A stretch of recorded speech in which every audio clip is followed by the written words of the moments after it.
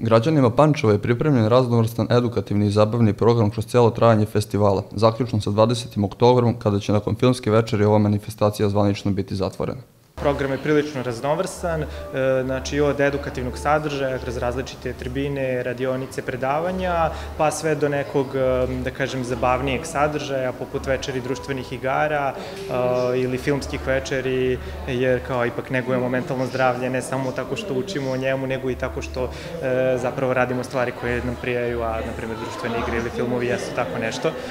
Nikola Veljković, član organizacijonog tima festivala i predsednik upravnog odbora Pneumo kreativni kolektiv, naglašava koliko su ovakve manifestacije bitne za grad Pančevo.